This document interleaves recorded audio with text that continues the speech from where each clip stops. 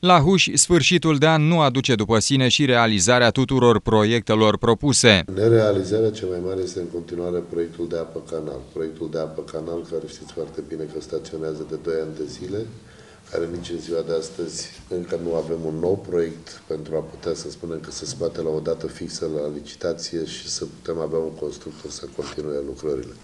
Răbdarea locuitorilor este pusă la grea încercare în condițiile în care multe străzi arată jalnic. E un lucru care totuși pentru cetățenii Bușului nu este îmbucurător. Mulți așteaptă apa, mulți așteaptă canalizarea, mulți așteaptă asfaltul, străzile sunt cum sunt, eu nu mai pot să intervin pe ele și lumea trebuie să înțeleagă asta pentru că aș veni pe o finanțare dublă. Pe un proiect predat la Uniunea Europeană nu mai am voie să intervin eu. E mai greu. Foarte probabil abia anul viitor vor fi demarate concret lucrările la acest amplu proiect.